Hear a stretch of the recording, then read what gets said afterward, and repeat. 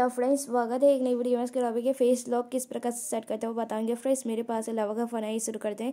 सबसे पहले आपको सेटिंग को ओपन करना है एंड सेटिंग को ओपन करने के बाद आपको सिक्योरिटी के ऑप्शन पे क्लिक करना है। तब आपको यहाँ दिखेगा, और फेस अनलॉक आप उस पर क्लिक करेंगे, फिर डाउनलोड घूमेंगे इसके बाद आपका एयरल फेस का ऑप्शन आएगा, आप उस पर क्लिक करेंगे। एंड इसके बाद आपको जो भी आपने स्क्रीन लॉक लगा रखा इसे ड्रॉ कर लेंगे। एंड इसके बाद आपको स्टार्ट एरल पे क्लिक करना है ओके पे क्लिक कर देंगे। तब उसके बाद इधर अपना फेस दिखाएँगे। और फ्रेंड्स फेस दिखाने के बाद आपका ये सेट हो चुका है तो होम करके फिर देखते हैं सेट हुआ है नहीं। हाँ फेस जैसा ऑप्शन आएगा, देख सकते हैं, अगर अपना फेस दिखा देते फेस लॉक से ओपन हुआ इसी तरीके से आप अपने फ़ोन में फेस लॉक सेट कर सकते हैं। और फ्रेंड्स प्लीज़ मेरी वीडियो को लाइक कर चैनल को सब्सक्राइब करो। फ्रेंड्स, तब तक के नमस्कार।